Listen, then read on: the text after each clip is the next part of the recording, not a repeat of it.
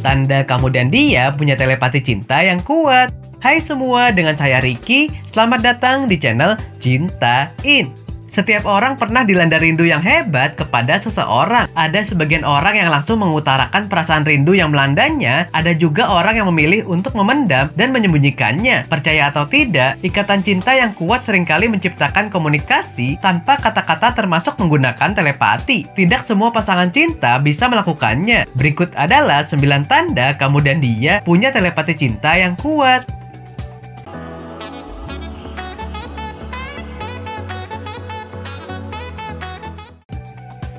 1. Sering memimpikan satu sama lain.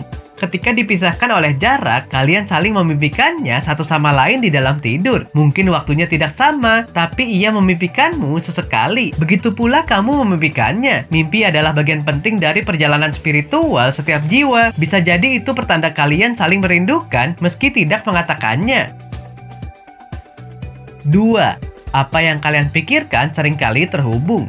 Terhubungnya pikiran juga bisa menunjukkan adanya telepati yang kuat dengan pasangan atau belahan jiwa. Terkadang apa yang kamu pikirkan sama persis dengan apa yang sedang ia pikirkan, padahal tidak pernah janjian. Ketika kamu atau dia mengungkapkan hal itu, kalian terkejut karena berpikiran sama. Itu menunjukkan keselarasan hati, dan dari situlah cinta yang kuat dan harmonis bisa tercipta. 3.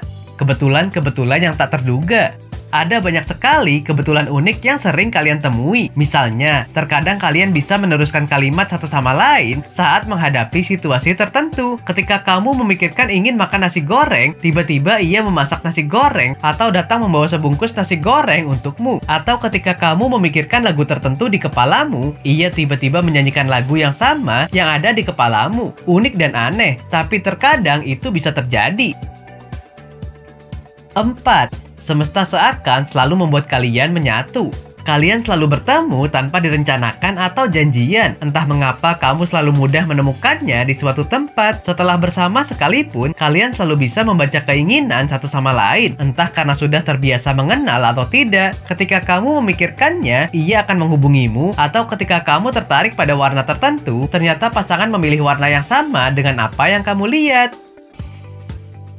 5 kemampuan membaca pikiran. Apakah kamu langsung tahu apa yang akan dikatakan pasangan sebelum mereka benar-benar mengatakannya? Ini adalah contoh klasik cinta telepati, di mana kamu dan pasangan hanya dengan melihat gerak-gerik atau raut wajahnya dapat membaca pikiran satu sama lain. Ini juga berarti bahwa kalian berdua secara emosional terhubung satu sama lain dengan sangat kuat. 6. Bersin terus-menerus atau cegukan jika kamu bersin secara tiba-tiba, padahal tidak sedang pilek atau flu, itu bisa saja pertanda ada orang yang sedang membicarakan atau sedang merindukanmu. Banyak budaya percaya bahwa ketika kamu bersin atau cegukan secara acak, itu pertanda seseorang memikirkanmu. 7. Kamu merasa dia ada meskipun kalian terpisah jarak. Ketika terpisah jarak, kamu tidak merasakan kesepian karena kamu tetap merasakan keberadaannya di sisimu. Meski sedang berada jauh, kamu juga merasa selalu dicintai meski tidak sedang bersamanya. Kamu merasa nyaman dengan hubungan yang kalian jalani selama ini. 8. Pikiran positif sepanjang hari. Ketika kamu dipenuhi dengan emosi dan perasaan positif, dirimu akan cenderung tersenyum impulsif. Saat itulah kamu akan terkejut bahwa senyummu adalah hasil dari hubungan yang bahagia dan menyenangkan di mana pasangan membuatmu merasa istimewa dan diinginkan.